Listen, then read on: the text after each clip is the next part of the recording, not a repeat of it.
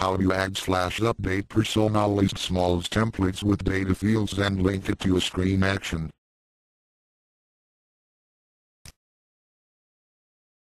Select location. Select any screen name.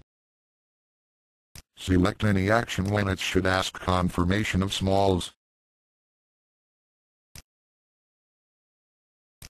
You can select any fields that can be inserted in text message. For X, select account name. Click Insert.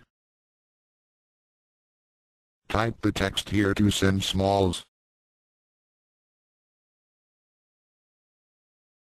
Select the Ask confirmation.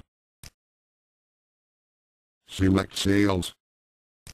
Select Sales Invoice.